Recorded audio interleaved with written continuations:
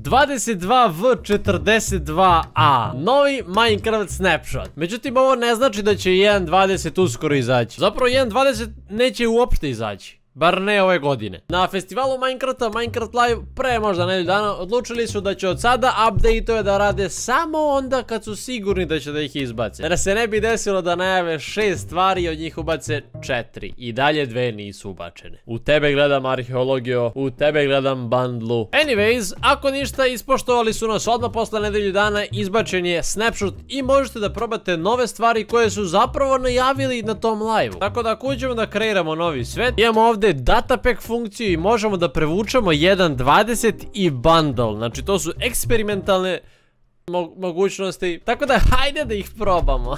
Pored onih tradicionalnih znakova sada su konačno ubacili nove znakove, međutim ne možeš da ih postaviš na pod. Potreban ti je ili zid ili plafon da ih postaviš i kao što vidite imamo i bambus, o njemu ćemo malo kasnije. Ali da, možemo postavimo sajnove i na njih da postavimo tekst, kao što biste inače stavili tekst, ali jedna zamjerka, u, nije zamjerka, staje cijelo moje ime. Ja sam da im zamerim zato što ime moje ne može da stane, ali očigledno može, tako da subscribe. Ali kao što vidite, ima nekoliko modela ovih znakova, tako da mi se dosta sviđaju kako izgledaju. Ako ih okačite gore na nešto široko, onda će izgledati ovako kao, kao viseći znak. Međutim, ako ih okačite znak na znak ili na nešto usko, izgledat će kao kofer.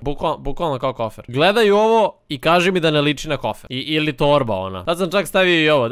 A sad mi reci, ako ovo ne liči na torbu, znači ne znam šta liči. U svakom slučaju dobra stvar, jako mi sviđa ovi znakovi, bilo bi još cool da može, može da se prođe kroz njih, eto to je cool. Bilo bi još cool da mogu da se klate onako kad prođeš pored njih, ali to je dobro i dobra stvar je možeš da prođeš kroz njih, tako da e, ovo će vjerojatno neke redstone funkcije omogućiti, pošto sad možete da se nekako zaglavite s ovim. Moguće da će se ovo koristiti za neke farme, pošto ovdje kroz ovo može da prođe player, ali mislim da zombi ne mogu, tako da zanimljivo. Gledajte ovo ljudi, znači možete ga staviti ovako normalno, ali možete ga stavite i ovako. Wow, isti znak sa dva različita modela. I dobra stvar je što možete da ih krivite ovako na 45 stepeni, ali loša stvar je to što ako slomite gornji blok, padaju. Međutim, to nije slučaj sa ovim drugim znakovima, zato što kada srušite blokove koji ih drže, oni će ostati na nebu. Jej! Malo pre sam spominjao bambus, bambus je također uređen i sada od njega možemo da pravimo nove blokove, a to su...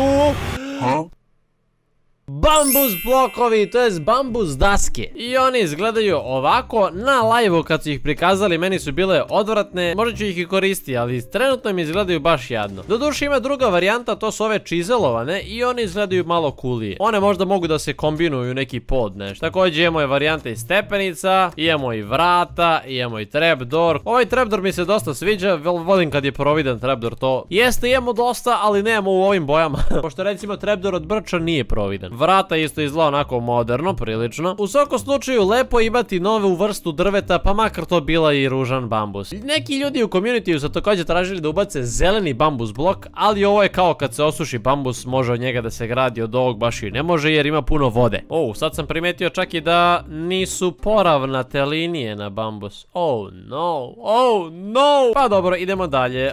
Uh, kao što vidite, novi creative inventory je tu. By the way, ovaj inventory mi se mnogo sviđa. Zato su konačno krenuli da sređuju nešto što je veliki problem još odavno. Kad god hoćete da pronađete nešto na Creative Inventoriju, nema šanse da ga nađete, nego uvijek kucaš tako. Međutim, sad je malo drugačije stvari, imamo building blokove u kojima spada drvo, ali i također ostali building blokovi kao što imamo i cigle i vunu i svašta nešto, a onda imamo nature blokovi gdje opet imamo drvo. To mi se jako sviđa jer sada na dva mjesta imamo isti stvar što je mnogo dobro. Možda bi još bilo bolje kad bi mogla da se napravi da budu poravnati. Ovo klog jedan i ovdje, pa onda sprus ovdje pa brč ovdje malo ide Bilo bi coolije kad bi nekako znali da poravnaju to Ali s obzirom da imamo 10 vrsta drveta ne bi stali ni ovako ni ovako. I tako sad imamo konačno tab za funkcionalne blokove. Ovo će graditeljima puno da znači Zato što oni uvijek uzimaju ove blokove da onako urede prostor. Oho šta ja to vidim je li to nova Minecraft bookshelfica? Prazna. E, Do pre ovog update mi smo koristili kao builderi Ja kao mi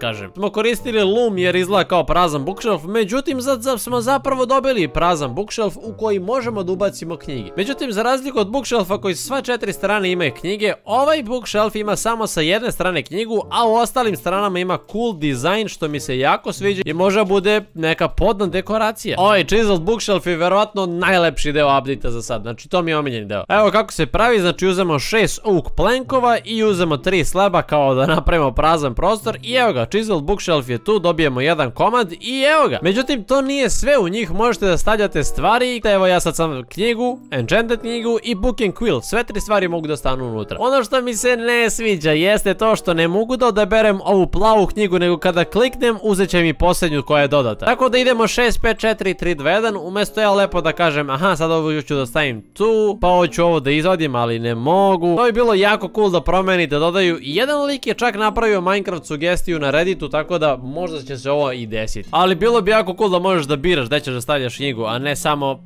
da ređeš po redu. Ali dosta blokovima, vreme da vidimo novu životinju. Najbliže selo mi je 4500 blokova. Oh yeah, teleportao sam se u prvo desert selo i kao što vidite ovdje Kamilu. Da bi je pripitomili treba vam samo sedlo jer je već pripitomljen i bukvalno samo treba klikiti na nju sa sedlom. Ima i ovu animaciju sedenja, ali ajde ustaj gore. Čim kažem da ustane, ona će ustati. Usta. Dobro, možda neće odmah da ustane, ali kad sedete na nju, onda će nekad da ustane. U pitanju je jako lenja životinje, tako malo je teže naterati je da ustane. Možda ovako možda ustane. Pa da, pa može, samo je udariš.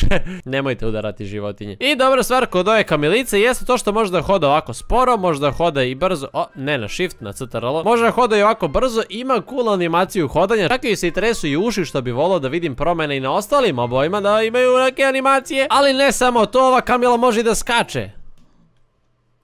Ne, ne može da skače. Ali ono što ova kamila može jeste da preskoči rupe tako što držite ovako s space kao na konju. Međutim, s konjem samo možete da skočite.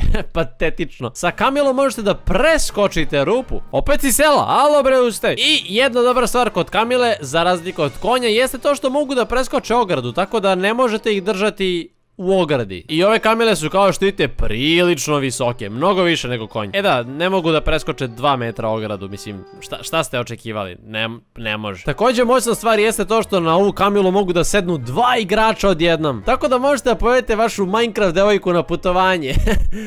Iako Kamilo mogu da se nabodu na kaktus, možete da ih parite sa istim, tako da evo dao sam im kaktus i oni će sada se vole, valjda? Ne vole se, daj daću tebi kaktus. Oho, evo ga, ljubav cveta i kao što vidite sada će se stvariti malo Kamilče. I mala Kamila je prilično slatka, odmah sedne da legne, i legne da sedne. O, sad je i ova sela. Nice. Neću da lažem, Kamila je cool. A također datapack koji možete da stavite pored 1.20 verzije jeste bundle datapack. Nešto mi se čini da opet pokušavaju da ga ubace u igru, iako prošli put kad su htjeli nisu uspjeli. Prosto oni pravi igricu i za telefon, i za kompjuter, i bedrock verzije i sve to ima svoje kompatibilnosti. Tako da, hajde vidimo kako ovo radi. Da li ja mogu da potrpam sad sve ovo u moj bundle ili ne mogu? Kako se to sad radi? Oho, desni klik se klikne. Znači uzmeš u ruku i desni klik i ono uđe. Iskreno, bundle je prilično cool stvar. Volio bi da je ubace što pre jer realno ti stalno u Minecraftu, pogotovo kad istražuješ, uvek imaš iteme koji ti onako budu po dva, po tri i imaš i gomilu. Tako da bundle je dobra stvar, samo treba da razmisli kako će da ga ubace. A omiljena stvar kod ovih bundlova jeste to što nosiš stvari, ne stvari onda si u fazonu ne mogu više. Ne mogu više. I sve izbaciš. O, vidi da su, se otimaju.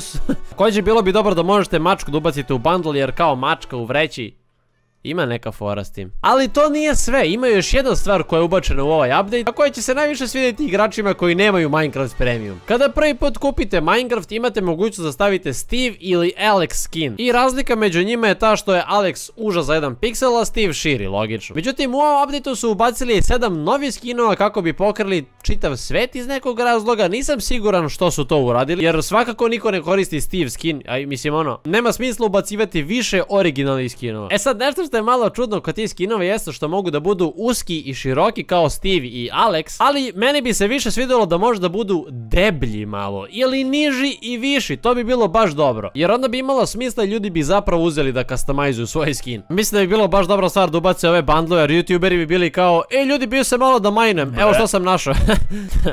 a, realno moćna stvar, E, villageri, gledajte ovo. Ili još jedna cool stvar bi bila kao lama krene da te pljuje i ti u fazonu, ok, sad ću da izvodim mač i gotova si. Ovo nije deo update-a. Uglavnom, to je to za ovaj video, lajkujte ga ako želite da saznate nove vesti o Minecraftu, onda se i subscribe bujte na moj kanal.